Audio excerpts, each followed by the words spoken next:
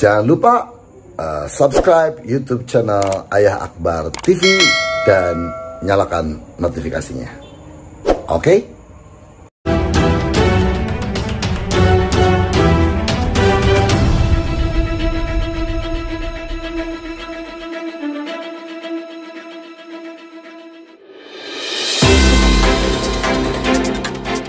Kunjungan Ahmadiyah ke rumah mantan Bupati Wonosobo ditulis oleh Salma Dila dari laman ayahakbar.id.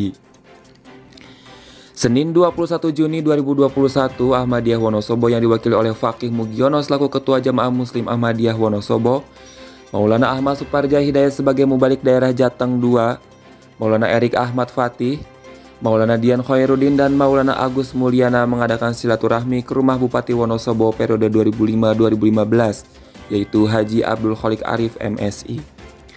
Pertemuan ini diadakan karena komunikasi yang terjalin tiga hari sebelumnya. Setelah itu, Abdul Khalik Arif mengundang saya ke rumahnya pada pagi hari di hari Senin tanggal 21 Juni 2021. Alhamdulillah kami berlima bisa bersilaturahmi ke rumah beliau, ujar Maulana Suparja. Dalam kunjungan ini, beliau menyambut kami dengan sangat ramah. Di awal pembicaraan, beliau menanyakan tempat dinas kami masing-masing.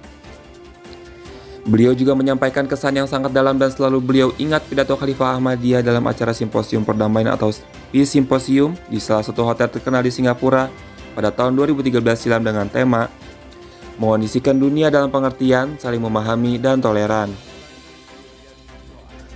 Kemudian, kami berbincang santai tentang berbagai hal termasuk sekolah mubalik di dunia dan di Indonesia. Jumlah banyaknya mubalik di Indonesia dan hal-hal lainnya. Dan mantan Bupati Wonosobo itu berpesan jikalau ada kesempatan ingin rasanya bertemu lagi dengan Khalifah Spiritual Jemaah Muslim Ahmadiyah yang berpusat di London, UK. Di akhir perbincangan, kami meminta beliau untuk menyampaikan saran dan juga masukan.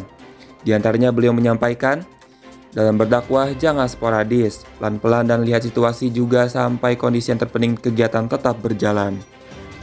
Beliau juga memberikan dukungan untuk kegiatan jemaah Ahmadiyah yang ada di Kabupaten Banjarnegara karena ada ganjalan dari Bupati. Jangan takut, terus saja jalan, karena beliau ada koleganya jadi sangat tahu betul karakter dan pribadi dari Bupati tersebut. Tepat pukul 9 waktu Indonesia Barat, rombongan Ahmadiyah meninggalkan rumah Batnan Bupati Wonosobo tersebut, namun sebelumnya dilakukan sesi foto bersama terlebih dahulu untuk keperluan dokumentasi.